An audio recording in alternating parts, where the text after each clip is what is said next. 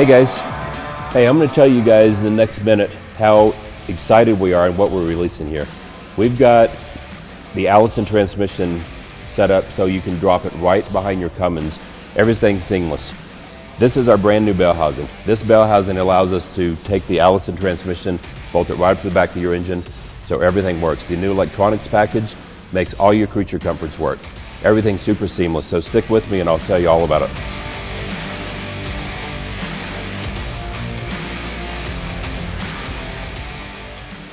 Hey guys, Clint with ATS today, and this is the first of several series that we're talking about installing an Allison transmission behind your Cummins. So, you know, this has been a very long topic for years and years and years. As soon as the Allison came out in the Duramax, you know, all the 5.9 and especially 6.7 truck owners have been yearning to put in an Allison behind their Cummins for good reason. You know, the Allison is, is, a, is, a, is a great transmission. So, not that the 68 isn't a great transmission, but getting there, you know, is, is, is expensive. And I'm going to do my best to give you guys all the knowledge and gals um, when you're making this decision. Because generally, if you're even considering putting an Allison behind your Cummins, that means you've fully invested in your vehicle, you love your vehicle, and we use them to do our daily chores. And you know, without your truck, you know, it's you're you're you basically are handicapped, and we get that. And for that reason, is why you know the 68 RFE has such a terrible reputation, you know, in the industry for being not reliable and just not being doing what it needs to do because bottom line it's a gas tranny. So I'm going to kind of take step by step, and I'm also going to give you some insight on how the transmissions, how how ATS, after all these years, has decided to go about doing a swap from either a 48 or a, or a 68 um, or an Aisin, you know, 68 or an Aisin 69, pretty much anything, and being able to put the world famous Allison behind a Cummins and making making it absolutely factory. When I mean say factory, like everything works and it's like you it's like the factory assembled it and you can't hardly you know you, you can't argue with that. I mean when when the factory builds something they set out to build something that is primo they do a really good job of it. And that's the goal everything we do here at ats the goal is to make everything what we call factory and that means factory fit everything works. So i'm gonna i'm gonna kind of walk you through in these next few series on how we go about doing that. So what you're looking at here basically is the 68 on the right side and the Allison on the left side. And the parts in front of it are, are generally, I'm going to do some, show you some comparisons between the clutch pack, the pumps, the input shaft, the output shaft, the valve body control system, the case. Um, so it kind of makes some sense for you. And I think by the time I'm done with this, you'll have a very good idea of if you're comfortable with the 68. You know, 68s are fantastic trannies once you build them, once you put all these parts in them or if you want to upgrade to the Allison. So this is kind of where we start. So I'm going to give you a little background. The two trannies you see here, the 68 RFE transmission is essentially a 545. It's a it's a gas transmission. It was designed, if you go way back, the basic transmission design was the gear set, the clutch pack design was designed by way back in the Lee Iacocca days in Chrysler and it was a caravan tranny. Yeah, a little front wheel drive caravan tranny. It kind of grew up, it got a little bit bigger, it finally went to rear wheel drive. And then they, they blew, it up big enough to where it would actually made a really nice half ton truck transmission. And that's essentially what's in the 1500 Rams, um, you know, for, for the last 15 years. And it's a pretty good tranny.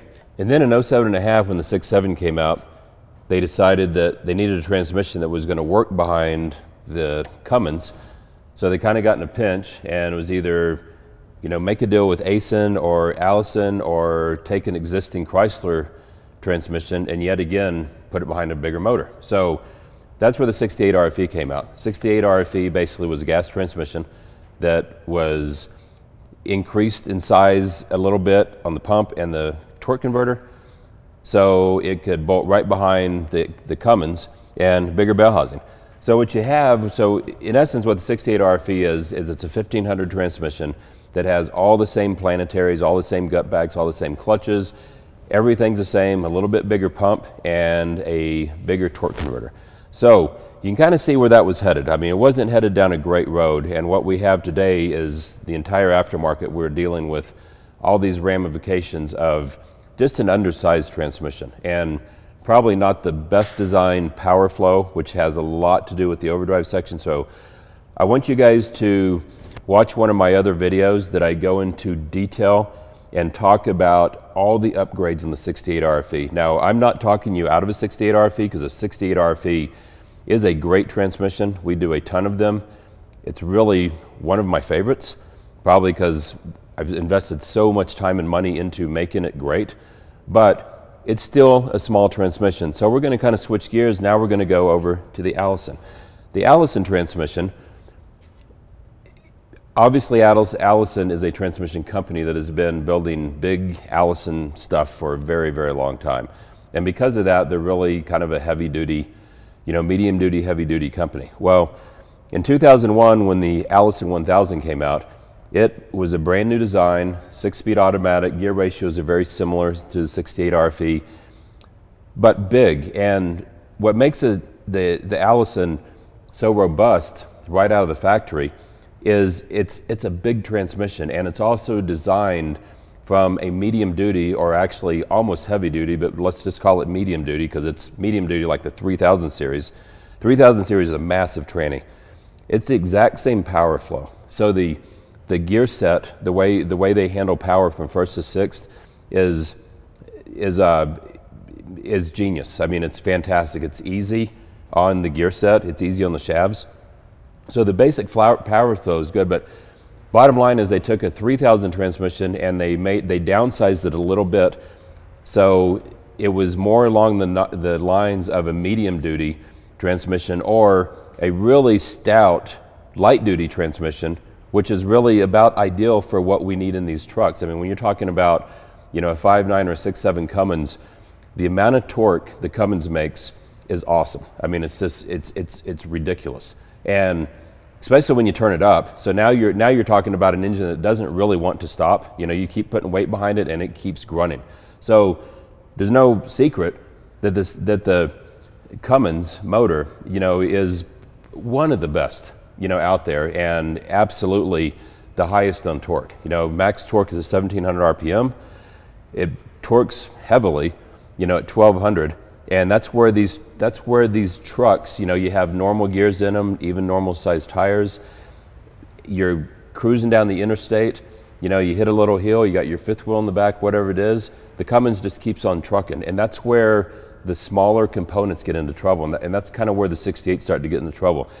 The Allison doesn't because it's so big. So I've got a whole I've got a whole other video also that it, that explains all the all the upgrades and all the little intricacies that we do on the Allison. But I'll tell you what we have to do the Allison to make it hold a reasonable amount of power versus what we have to do to a 68 to make it hold a reasonable amount of power is night and day. 68 we have to fill it full of billet parts. I mean pumps and channel plates and and clutches and co-pilot, all that other stuff. The Allison, we don't have to do a ton to it. We have to upgrade the clutch packs. We change the hydraulics a little bit.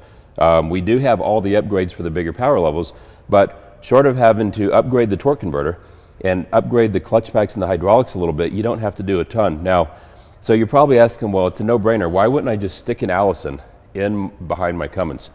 This is where the problem comes in, okay? So the first part is the Allison was never built with a bell housing that would fit your engine. This is the bell housing that it comes with. There's two bell housings. This is your GM bell housing. The other is an SAE bell housing because they did put the Allison transmission behind um, Cummins motors in medium duty vehicles all the time, dump trucks, all kinds of stuff. The deal is, is it's, an, it's, a, it's a big round bell housing, a big long adapter plate, it has mounts on it and it's, it's so big, it doesn't really fit into a light duty, you know, like the vehicles that we drive, right? So it does, it's not feasible. By the time you buy the adapter plates and try to move all around, you know, it's such a mess that it doesn't fit, it's too expensive. And then you roll into get into to operate, and I'll get into that here in just a little bit. But when you're talking about bolting it up, when you adapt them currently today, you know, the entire industry, everybody out there, if you look at, you know, you, you Google um, Allison Cummins conversions, right? When you, there's, there's a ton of people that are, are companies that are, have kits and they're allowing the Allison to be bolted onto the back of a Cummins. The problem is, is everybody is using this GM bell housing. The reason is because that's the only thing that's available. So what you do in the GM bell housing, the GM bell housing is smaller, so it just allows the converter to fit. You have to put an adapter plate on your Cummins, which means you take your factory adapter plate off. I also have the second part of this video shows these modifications. you have to take your adapter plate off and then add another adapter plate and then change the flywheel. And then most inherently, which is terrible, which is which really drove me, motivated me because we are having so much, so many clients that were asking, "Will you please help me put a Allison behind my Cummins?" Like, I don't like the way it has to be done because you have to grind half the block off. So literally, you have to get in there with the grinder and you have to grind the passenger side of the block. I mean, you, like you have to grind it like all the way into the bolt hole. I mean, we're talking like an inch by four or five inches. You have to get in there and grind the block, which grinding a block is generally probably never a great idea. You know, in my opinion, I hate doing it. We just try to refrain from it. So realize the first thing we really got to do is make the Allison transmission just a drop-in replacement. That means we need to make it bolt to the back of the engine. We need to make the transfer case bolt to it, and then we'll handle the electronics. Well, start going down the road, and as we really was once we, we identified that we wanted that we're going to go down this road and we're going to do everything 100%, went ahead and dove in. This is the bell housing that we offer. So this bell housing, what we did basically is replace this bell housing, which is part of your pump channel plate. I mean, it's a it's a big deal. It bolts here, right? So we made this bell housing that 100% mimics the Cummins or the Chrysler bell housing, so it bolts right at the back of the engine. The torque converter was the next part. You know, the 68 RFE, essentially, we, we build this torque converter from scratch because the, the factory converter is kind of the right size, but it, it doesn't, it's really wimpy. The clutch design, it's terrible. So our five-star converters, we manufacture everything inside of there and you get the torque converter. I've also got another video that you can look inside our torque converters and I kind of walk you through them exactly, the square tab and how it works. the Allison, was pretty easy at that point because we take the same exact torque converter and we build our cover, make it a six bolt, make our uh, square tabs, billet stator, our impeller, all that stuff. So now everything is exactly the same. So when you put the torque converter in, the front of the torque converter mimics exactly what the 68 RFE is. So if you look at your center lines, your bell housing, your bolts, your dowel pins, where the converter sits, your hub diameter, bolts everything. Everything is 100%. So now you, you can literally drop your Chrysler transmission out and you bolt the Cummins transmission in. And you don't have to move the starter. That means you're using the factory starter, which is designed for the Cummins, instead of having to put a six liter starter on it, because that's the, that's the starter that's used because it's really small. Because remember, your base circle gets smaller. So everybody that's putting an Allison behind these things, they had to, you know, basically use the smaller converter and the smaller flex plate because of smaller bell housing, and that forces you to get an aftermarket starter, which is six liter. The Ford six liter starter is the only one that's small enough that's also gear driven. That's also not a reliable starter. So you grind the block and you get that starter really tight up in there so it'll get to the get to the ring gear. Just just not the kind of reliability that I'm after. So you get rid of all that and now you have a bell housing that bolts up, you have a torque converter that bolts right to the factory flex plate. Now anytime you're doing a Cummins conversion, I mean, I really do highly recommend our billet flex plate, mainly because all of our converters, instead of the factory six bolts, have 12 bolts. So anytime you can increase the, the amount of bolts on the flex plate, you're going to take, you're going to cut that stress in half. So you're basically talking about reliability. so it all bolts up. So then we'll get into, okay, now the transmission is bolted in the vehicle easily. So you take your you know, your six hour retrofit channel plate or the retrofit backing plate, all that kind of stuff to kind of adapt one in to literally one hour, take the transmission out, bolt the transmission up, And then the transmission's mounted. It's done. It's all factory. It's all very, very clean. Bolt your transfer case on, do a little bit of driveline work, start hanging components on it. So we've made the, the installation just super simple. Now, get into electronics. Um, we'll cover that in a little bit later episode. But we've also made the electronics so everything is completely factory. Your factory tap shifter works, your indicator. If you have a 68 Aisin or 68 in the vehicle, literally the companion modules that we built, so it takes the information from the Alice computer and translates it to the engine computer, and the engine computer translates it back to the Alice computer. Everything is factory-like, so everything is very seamless.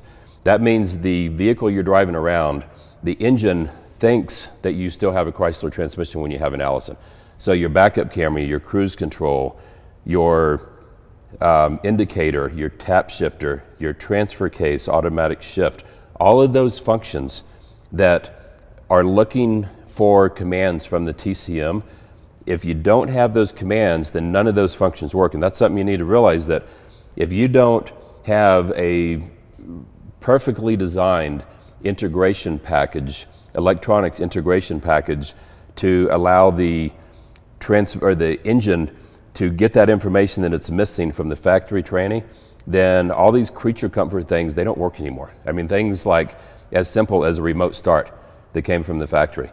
Something as simple as you put it in reverse and reverse lights camera come on. Something as simple as cruise control. Those are things that I don't want to, that I'm not okay losing when I change the transmission out because I'm looking for reliability. You know, I'm not okay to losing those things.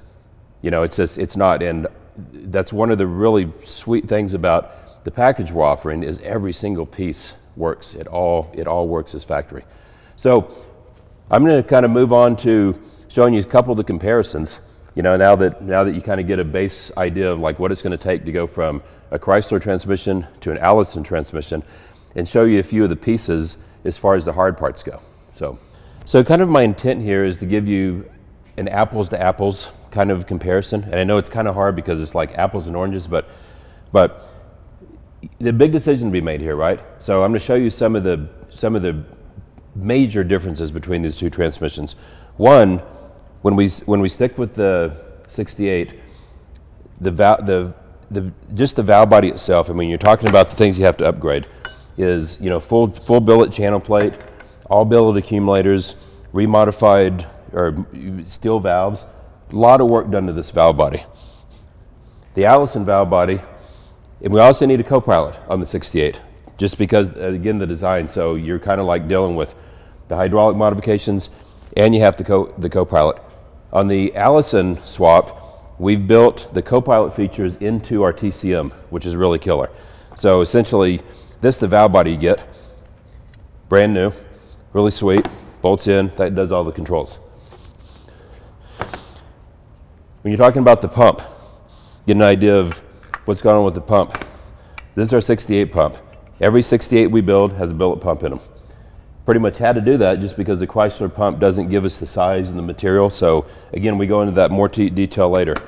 This is the pump ugh, on the on the Allison. I mean, it's a monster. You know, he just gives us, that's the heartbeat, right? I mean, that's what gives us, that's the blood flow. That's what gives us the pressure and the volume and the cooling and everything for that basically scaled down medium duty tranny, right? So you're starting to get a little bit of an idea. It's just, just bigger. You know, it's just inherently better. Your low reverse clutch, this is what you use when you're back in a trailer up the hill. This is the clutch in the 68 RFE. This is the clutch in an Allison basically do the exact same job. You know, it's just bigger, not to mention there's a lot more of them. So you just don't have to do a lot of extra modifications, you know, to get them to do the job. The third gear clutch, for instance. Now the Allison, the low reverse clutch, I'm sorry, the, the uh, second gear, third gear clutch, they're basically the same. That's what you have here. So obviously, you know, when, you're, when we're talking about these clutches, we're talking first, second, third. You know, both trannies are pretty good, first, second, third reverse. The real problem comes into overdrive. On the 68 RFE, fourth gear, we all know that fourth gear is just miserating because the, the power flow, the size of the clutches, the hydraulics, these are essentially more kind of like your fourth gear clutches, you know, that are on, this is what you're comparing to, okay, on your 68. These are your fourth gear clutches. Not only do you have such a bigger clutch pack on the Allison, I mean, you have so many of them. This is all we can put into a 68. But look at the size. And if you're looking at the clutch itself, right, give you a really good idea. Allison versus 68. This is the big failure on the 68. We just, you know, the industry just fights keeping these things alive for many, many reasons. Again, I go into it on our full explanation of the 68 RFE upgrade. Again, not to talk the 68 down. 68 is a great tranny. And those of you that are looking for, you know, a good reliable transmission that is going to do normal work, then the 68 is certainly a little bit less money. Of course, with the bell housing, with our electronics, with everything we've done on the Allison, and also not having to go with extreme upgrades on the Allison, it really is shifting that cost down to where you know you're only a couple thousand dollars apart whether you go for the Allison upgrade or you go the 68 upgrade. A couple other things I want to show you. Your input shaft. This is your input shaft in your overdrive clutch drum on your 68 RFE. Everything we do pretty much on the 68 is generally a billet input. That's in our stage two. The Allison, you don't need to do a billet input shaft until you're well up in the 500 plus or 600 horsepower range. This is the input shaft, so you get kind of get an idea. You got 68, you got Allison. You know, it's just kind of like, damn, it's, it's just, it, it's a big deal, right? Intermediate shaft, same type of deal. So you're talking intermediate shaft. You know, you got you got the same type of thing. You're either intermediate or your overdrive shaft. Just just bigger. You know, just having the having all those years of Allison taking that big medium duty transmission and kind of shrinking it down slightly for a light duty truck versus taking a 1500 transmission and trying to grow it up but not really grow it up because the parts didn't get bigger. That's really where so much of the deficiencies have come from. So you know, that, that's, kind of, that, that's kind of the heart of, of what's happening here. Now, I didn't cover the 69. The 68 or the 68, the 9. The 68 transmissions are generally not really rebuildable. There's no additional upgrades for them, no hard parts. The parts are very expensive. Um, some of the stuff you can't even buy individually. You have to buy valve body and pump assemblies together from the dealer. It's, just, it's, it's really a problem. So if you have a 68 RSC, like from 07 to 12, just, just, just go to the Allison. You know, just don't even waste your money because the 68 or the 68 RC, which is the Aisin, early Aisin, is incredibly problematic. The 69 is a pretty darn good tranny. Now that came out in 13 and it, and it, and it continues to run today. It's a big tranny and it holds good power, but there's no TCM tuning and you know, the, just the, the inherent way it's designed, it runs max line pressure all the time. So in the typical transmission world, in order to make these trannies hold more power, will increase line pressure. Well, they've already maxed line pressure out and they control the clutch applications based on on time and off time of the clutches. So the, so the 69 is big. It's about the same size as the Allison. It holds good power and it's pretty reliable, but it doesn't function well. It doesn't shift really well under heavy power demands. Um, there's absolutely no TCM tuning. They're, the parts are very expensive, the same type of deal. So it's kind of getting to that point that if you want a basic, you know, upgrade, you know, like a stage one, stage two, 69, that's, you know, that's, that's a good, that's an upgrade package. But for what it costs to upgrade it to an Allison, you kind of get everything. And what I didn't mention yet is with the Allison, you get full transmission tuning capability. That's because we're using an open architect TCM that allows us to log right into it. You can log into it. You can literally use EFI Live, get into the Allison TCM. You can program your upshifts, your downshifts, your part throttle shifts, your torque converter clutch application. The big thing that it means to you is you can set it up, or we can set up for your exact tire size, your exact gear ratio, your exact engine size. And with our electronics, we're taking all the torque tables from the engine that it's transmitting to the TCM, and we transmit that information to the Allison TCM. So again, the Allison TCM thinks it was designed from the factory, belongs in that vehicle, and the vehicle's computer thinks that it's talking to or getting information from the 68 or the 69 or whatever TCM it was. So it's a complete pass through. So pretty much we're giving you everything you've ever wanted ease of installation, full driver control, all the creature comforts at an affordable price. So I tell you what, I'm, I'm excited about this. We've been working on this diligently for several years now. And after all these years, getting all the electronics, all the tuning, finding, you know, figuring out all the right parts, casting the bell housing, getting the converter dialed in, the right internal components, having the cores so we can buy all these parts new. And we buy a ton of this stuff brand new. You know, a lot of this now. The other thing you're probably thinking like, okay, what about core charges? This is the other thing that's really cool. So we are offering any upgrades that the core charge, if you have a 68, we will receive your 68 core in lieu of the core charge that would come for the Allison. So if you got a 68 or 69 or you know a 48 or whatever that is, we'll do you an even swap. So now you're talking about a very expensive core. You know, finding a six-speed core is not easy, but again, because we're buying so much of stuff brand new instead of reman it, we built that in the cost so we can offset it by getting your core back, whatever it is, so you don't have to deal with that old transmission that's useless or burned up or try to sell it or whatever. We ship you a brand new Allison, you ship your core back. The core charges an even swap. So that's, that's, that's kind of a good deal. So anyway, we got more videos coming. Um, this is a this is a pretty pretty fun build for us. The elaborate install. We're doing a couple.